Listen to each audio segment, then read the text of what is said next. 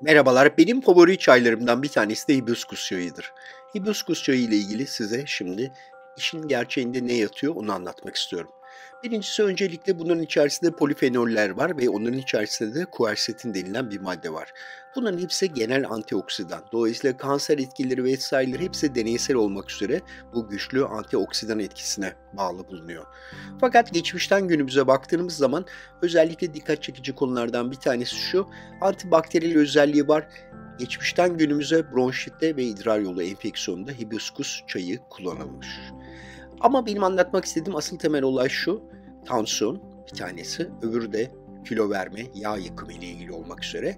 İşte yapılan bir takım deneysel çalışmalarda bu polifenollerin içerisindeki kuersetinin damar genişletici özelliği tespit edilmiş. Ve dolayısıyla hibiskus tedavisi alanlarda tansiyonun 12 haftada 1 puan düştüğü söyleniyor. Fakat bunu bir puan deyip hemen öyle küçümsemeyin çünkü bir puanın bile çok önemli etkisi var ilaçlara yardım açısından. Diğer tartışmalı konu yağ dokusu yıkımı. Yağ dokusu yıkıyor mu, zayıflatıyor mu? Şimdi işin tersten bir temeli var. O da şu. Hibiskusun içerisindeki maddeler polifenoller insülin benzeri etki yapıyorlar ve insülin benzeri etkiden dolayı dolayısıyla yağ dokusu yapımını azaltıyorlar.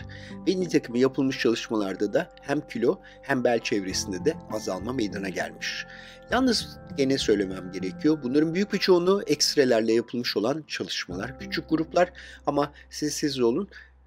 Ben yeşil çay ile beraber hibiskusun ideali olduğunu düşünürüm ve de yazın soğuk olarak da tüketildiğinden gayet güzel bir içecektir. Teşekkürler. Görüşmek üzere. Hoşçakalınız.